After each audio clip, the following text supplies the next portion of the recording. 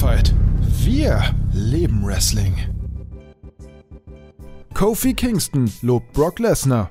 Während eines Interviews mit Alex McCarthy von Talksport lobte Kofi Kingston die Zusammenarbeit mit Brock Lesnar. Laut Kingston habe Lesnar einen großen Einfluss auf die Storylines rund um seine Matches. So soll unter anderem der Moment im diesjährigen Royal Rumble Match, bei dem Lesnar mit Kofi Kingston, Big E und Rey Mysterio gleich mehreren seiner letzten Fädengegnern gegenüberstand, die Idee Lesnars gewesen sein. Kingston betonte dabei, dass Lesnar ein sehr gutes Verständnis für das Wrestling-Business habe und er die Arbeit Lesners schätze. Gründe für Abwesenheit von Sami Zayn bekannt. Laut Wrestling Observer geht das Fehlen von Sami Zayn in den letzten Wochen auf die Entscheidung Zayns zurück. Der amtierende Intercontinental Champion nehme die Option in Gebrauch, nach der jeder WWE-Star selbst entscheiden darf, ob er zu den Aufzeichnungen anreist oder nicht. Zayn will sich und andere allem Anschein nach schützen. Wie lange er im WWE-TV fehlen wird, ist unklar.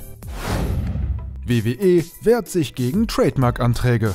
Die WWE will gegen mehrere Trademark-Anträge von Cody Rhodes sowie dem Tag Team The Revolt, ehemals The Revival, vorgehen. Dabei soll es konkret um die Rechte an den Begriffen No Flips, Just Fists, Say Yeah, FTRKO, The Match Beyond sowie Slamboree gehen. Weiterer WWE-Star entlassen. WWE gab die Entlassung von Curtis Axel bekannt. Der Sohn des WWE Hall of Famers Kurt Henning stand seit 2007 unter Vertrag.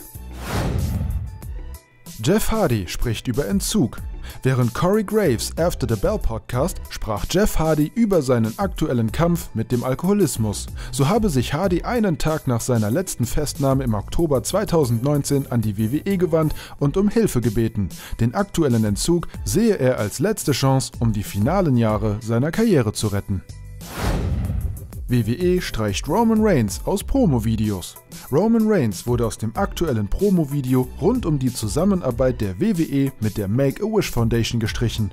Dies sei laut Dave Meltzer ein weiteres Anzeichen dafür, dass Reigns aktuell mit einigem Backstage-Heat zu kämpfen habe. In der Vergangenheit war Reigns das Aushängeschild dieser Zusammenarbeit. Alle wichtigen Entwicklungen und Ergebnisse in der Diskussion, das gibt's bei uns auf dem Spotfight Podcast Kanal. Reviews und Wrestling Talks zu Raw, SmackDown, All Elite Wrestling und vieles mehr. Klickt gern mal rüber.